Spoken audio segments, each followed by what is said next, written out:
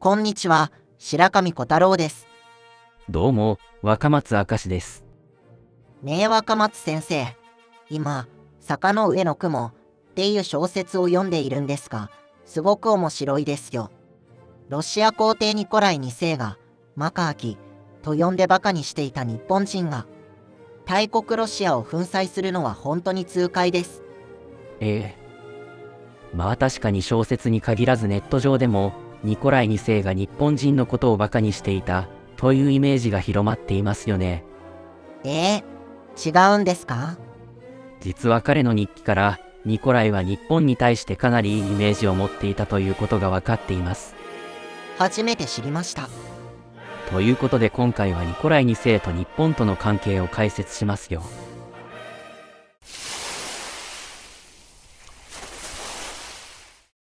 1868年、ロシア皇太子アレクサンドル3世の長男としてニコライは生まれます。大柄で豪快なアレクサンドル3世とは対照的に、ニコライは小柄で内向きな子供でした。筆まめな彼は14歳からほぼ毎日のように膨大な日記や手紙を書いています。日記の特徴として、家族と何をしたかなどの日常生活に関しては細かな記載がある。しかし地の日曜日事件等、歴史的事件に関する意見は少ない、などがあります。政治史の資料としては使いにくいものかもしれませんね。1890年10月、22歳になった皇太子ニコライは見聞を広めるために世界旅行に出ます。この旅行には貴族出身者を中心とする随行員や、いとこでギリシャ王子のゲオルギオスがついており、その他アジアについて詳しい専門家も混じっていました。ニコライを乗せた軍艦アゾフ号はギリシャを出発。エジプトではアスワンまでナイル川を遡上し、その後スエズ運河を通ってインド洋へ。インド、セイロンを経てシンガポールとジャワ島、サイゴンやバンコク、香港などを見物し、ヨース港を観光まで遡りました。アジアを歴訪してる感じですね。楽しそうだな。1891年4月25日、一行は上海から長崎に向けて出港します。この日の日記からはニコライ2世の日本に対するとても大きな期待が読み取れます。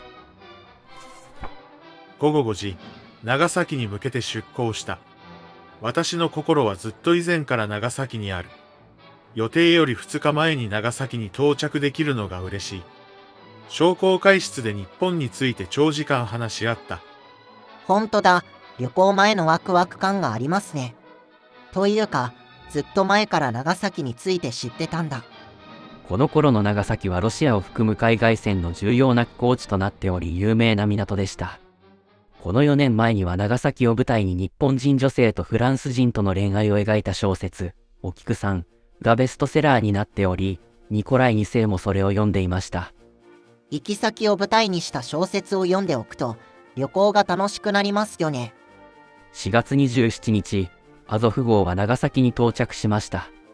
日本側はニコライ2世を国賓級に歓迎しており、すぐ式典を開いてもよかったのですが、5月3日がロシア正教の復活祭にあたり、その前の1週間は戒律上安静にする必要があったので、日本政府の配慮で正式な歓迎式典は7日後の5月4日にずらされました。確かロシアでは皇帝が教皇よりも偉くて、キリスト教が政治と密接に関わっているんですとね。じゃあニコライ2世は1週間船に閉じこもったままだったのか。いいえ、そんなことはありませんでした。若くて好奇心の強いニコライは到着翌日から戒律を破り、お忍びで長崎見物に出かけていました。日本側の配慮とは一体？到着翌日の日記を見てみましょ午後2時、ゲオルギオス、バルコフと長崎市に向かった。長崎市の家屋と街路は素晴らしく気持ちの良い印象を与えてくれる。至るところ掃除が行き届き、小ざっぱりしていて、彼らの家に入るのが楽しい。日本人は男も女も親切で愛想がいい。長崎って散歩していて楽しい街ですよね。う。この日、人力車であちこちの商店を訪問し、大量のお土産を買っています。江崎別光店という店では店主から別光製の水雷艇をプレゼントされました。ニコライはこの店を気に入り、ロシア皇室御用達商人に指定しています。プレゼントもらうとやっぱり嬉しいよね。そしてこの日の午後、彼は衝撃的な決断をしています。昼食後、右腕にドラゴンの入れ墨をする決意をした。そのために晩の9時から朝の4時までちょうど7時間かかった。ドラゴンは見事に彫られており、腕は全く痛まなかった。ええ、将来のロシア皇帝が入れ墨。なんかやばい。別にこれは特別なことではなく、当時のヨーロッパではアジアの入れ墨は芸術的だと評価されており、来日時に入れ墨をする人は多かったのですよ。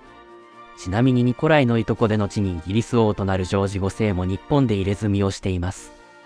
確かに今でも欧米の人はタトゥーに対して寛容なイメージがあるな。その後2日間も長崎見物をし、残り復活祭までの3日間はさすがに船内で過ごしました。そして復活祭当日、日本側はロシア向けの催し物を用意しており、ニコライは最高だったと評価しています。おもてなし、ですね。5月4日、歓迎式典が開かれアリス川宮武人親王らが出席しました。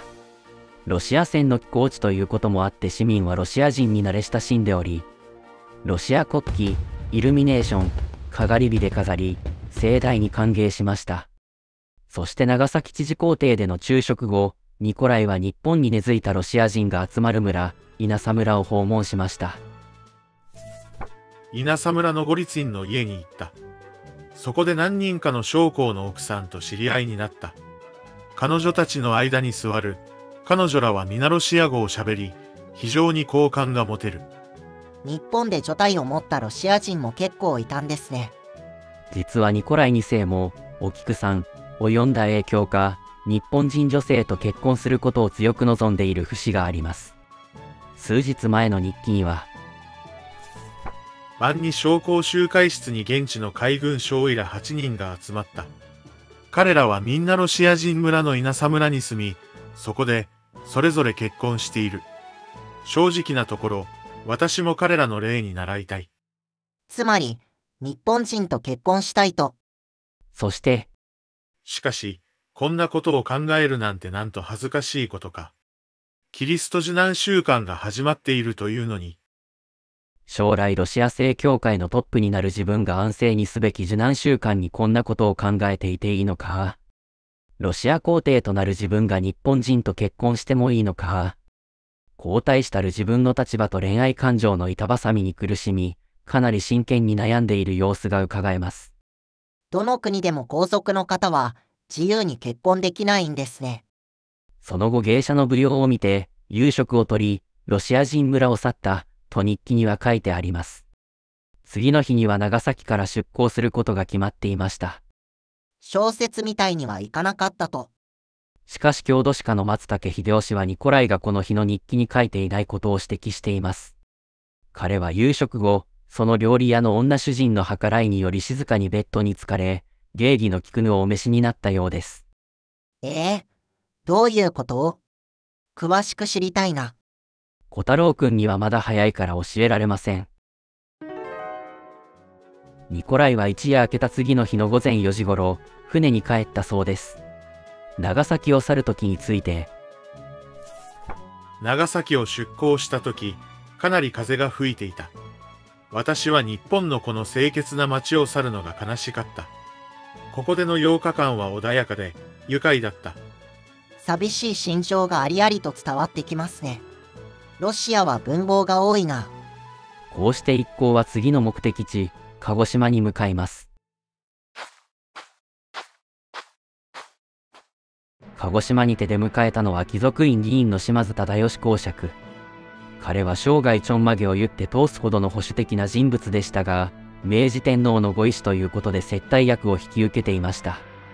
うまくいくかな？ニコライは鹿児島市内を回り焼き物工場を見学、その後島津邸に到着、家臣による侍踊りを見物します。そして、薩摩公自らが、極めて巧妙な娯楽を演じてくれた。おかしな狩人の服装の薩摩公が全力疾走の馬上から、他の騎馬武者が引っ張っている俵に大きな弓を置いた。何のことだろこれは鎌倉時代から続く伝統、犬大物のことです。初めて見るニコライにはとても面白く感じたのでしょう。その後夕食会が開かれ、ニコライは忠義の杯でお酒を飲んだりしています。島津家の丁寧な接待、薩摩焼きのプレゼントにニコライは感激。何よりお互い保守的な性格だったためか、ニコライと忠義は心が通じ合いました。心の友ってやつかな？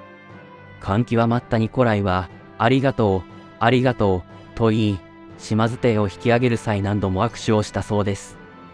その後も島津家とロシア皇室は良好な関係を続け、送り合ったプレゼントは今もロシアに残っています。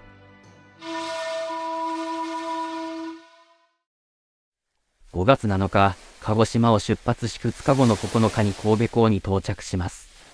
神戸をしばらく見物後、夜に汽車で京都に到着、大勢の見物人が集まっていました。ニコライは市内の時はホテルに泊まる予定でしたが、大きなホテルに案内されたが、ゲオルギオスと私はそこを断り、素晴らしい日本式家屋に投縮し、満足した。ホテルよりも旅館の方がいいんですか？そうですね、京都府の記録にもホテルの客室を一覧した後、日本式旅館を希望したと残っています。旅館だとご夕食の時間をずらすことができないけど、いいんですか？夕食後、旅館から東山大文字の天下を見物、その後芸者の踊りや歌舞伎を楽しみました。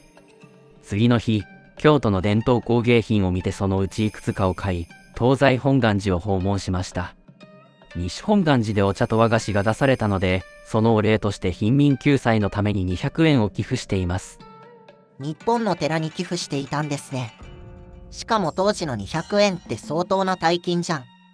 ニコライは寺に入る時も帽子を取るなど礼儀正しく、京都府側を感嘆させました。本願寺の他にも京都の名所をいくつも回り、京都は日本のモスクワだ、と評しています。当時のロシア帝国の首都はサンクトペテルブルクでしたね。そして翌日の5月11日には人力車で大津に行くことになっていました。大津といえば、そうです。ここで日本を震撼させた事件は起こるのですが、動画が長くなりすぎてしまうのでこの話は後半に回します。ええどんなことが起きたか早く知りたいよ。それでは、またお会いしましょう。続きも見てね。